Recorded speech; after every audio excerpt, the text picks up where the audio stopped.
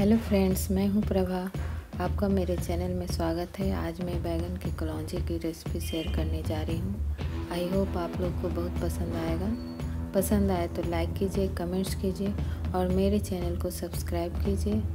तो चलिए, बैगन की कलौजी। बैंगन की कलौजी बनाने के लिए सबसे पहले हम लोग बैगन के किनारों को इस तरह चाकू की सहायता से निकाल लेंगे। ये देखिए।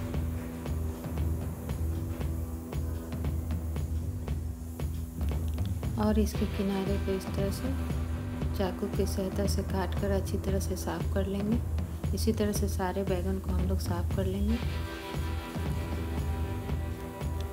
और उसी तरह से आलू को भी, आलू बच्चे के खाने के लिए डालते हैं हम लोग। एक दो आलू भी डाल देंगे। तो उसको भी इस तरह गोल गोल स्लाइस कर लेंगे। आप चाहे तो छिलके उतार के करें या फिर ऐसे ही।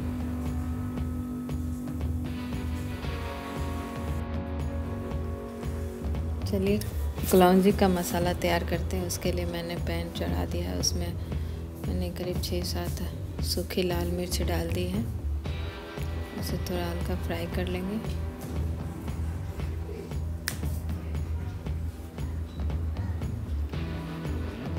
उसके बाद आधा छोटा चम्मच हम लोग उसमें मेथी डालेंगे।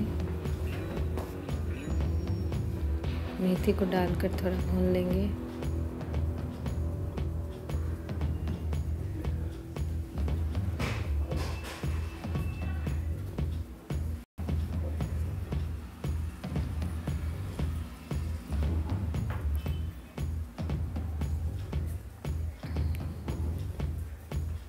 अब एक टीस्पून हम लोग धनिया डाल देंगे, खड़ा धनिया।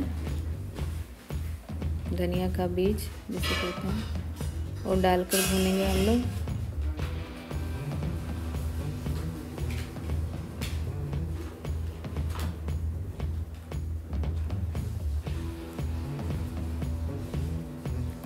अब उसमें एक चम्मच, एक टीस्पून एक से डेढ़ टीस्पून हम लोग सौंफ डाल देंगे। और सौंफ डालकर भी उसे भूनेंगे। चूल्हे का फ्लेम लो रहेगा।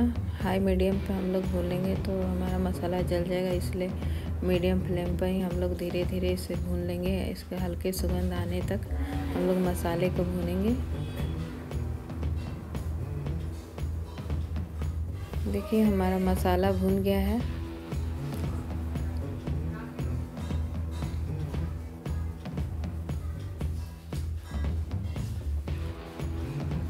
अब हम लोग चूल्हे के फ्लेम को बंद कर देंगे। अब उसमें एक चम्मच जीरा डालेंगे और जीरा डालकर भी हम लोग भून लेंगे। अभी तवा हम लोग का पैन गरम है, उसमें जीरा हल्का रोस्ट हो जाएगा।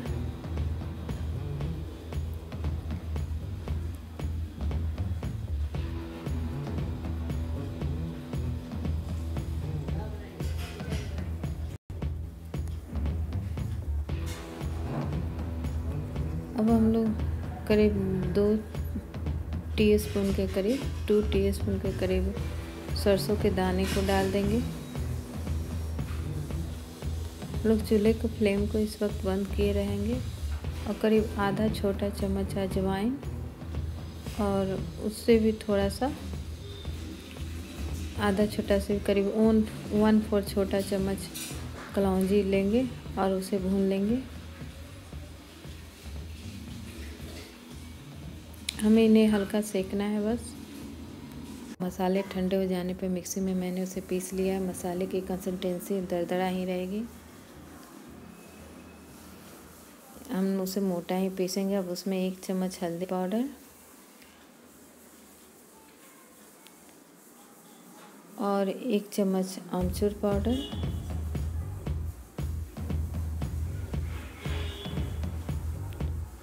और मसाले की क्वांटिटी के हिसाब से इसमें नमक डाल देंगे।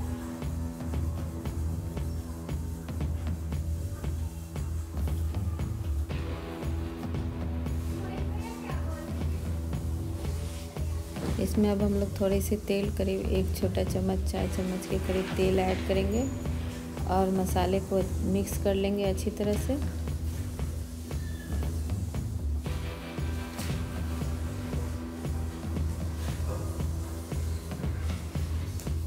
में अब हम लोग करीब एक छोटा चम्मच हींग भी मिला देंगे और मिक्स करके अब मसाले को टेस्ट करके देखेंगे उसका नमक है कि नहीं। अगर नमक की और ज़रूरत रहेगी तो उसे और नमक मिला लेंगे और इस तरह बैगन को बीच से स्लाइस काट कर हम लोग देख लेंगे कि उसमें कीड़ा है कि नहीं।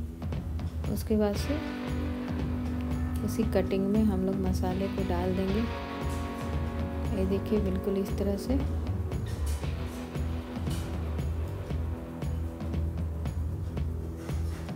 तरह से हम लोग कटिंग करके हम लोग मसाले को डाल देंगे। अगर लंबी वाली हम लोग की तरफ़ सफ़ेद, बिहार में सफ़ेद बैगन मिलती है छोटी छोटी कलौजी, उसमें बहुत अच्छे से हो जाता है। यहाँ पे ये छोटी वाली ही बैगन मिलती है।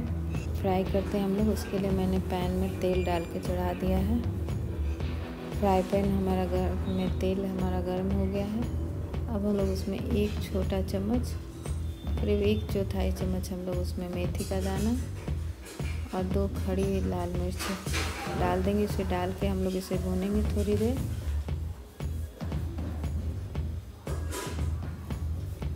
देखिए अब मेरा तैयार हो गया है।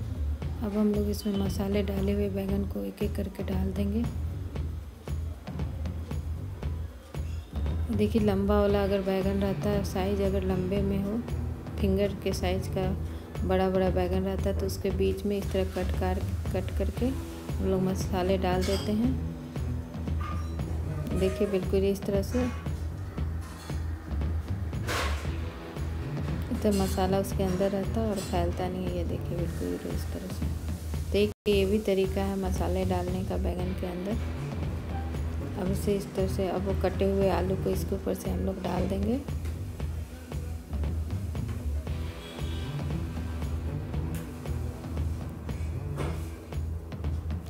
अब इसके ऊपर जो हम लोगों ने मसाला पीसा था कलौजी का, वो उसके ऊपर डाल देंगे आलू के ऊपर।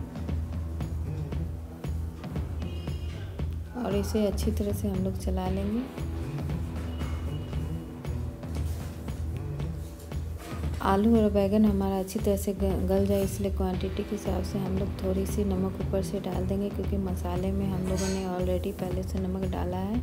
इसलिए थोड़ा सा हम लोग, और थोड़ा सा हल्दी पाउडर डाल देंगे कलर के लिए। थोड़ी सी लाल मिर्च भी हम लोग डालेंगे। और थोड़ा सा जो मसाला हम लोगों ने कलौजी का तैयार किया, वो भी एक चम्मच ऊपर से डाल देंगे। और इसे अच्छी तरह से चला लेंगे हम लोग।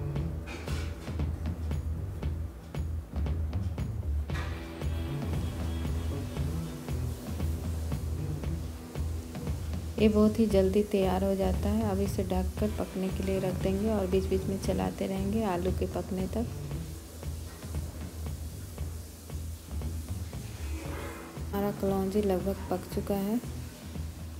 अब इसमें मैंने थोड़ा सा हींग मिला दिया। मसाले में मैं हींग नहीं मिलाई थी, इसलिए इसके ऊपर से हींग डाल दिया। अब इसे मैं चला लूँगी।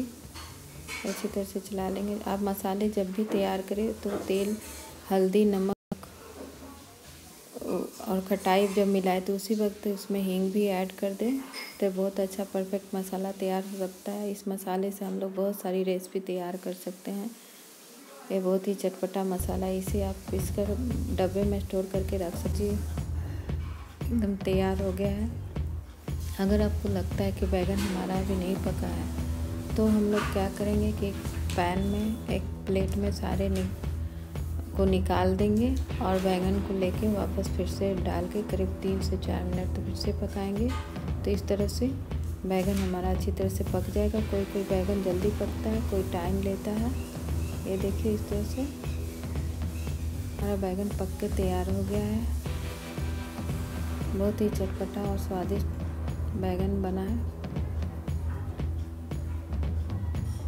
बैगन का कलौजी सर्व करने के तैयार है इसे पूरी पराठे रोटी के साथ आप सर्व कर सकते हैं या चावल के साथ। आई होप आपको मेरी ये रेसिपी ज़रूर पसंद आई होगी। पसंद आई तो लाइक करें, कमेंट्स करें, सब्सक्राइब करें और दोस्तों के साथ इसकी रेसिपी को शेयर करें। तो मिलते हैं नेक्स्ट वीडियो में। Thanks for watching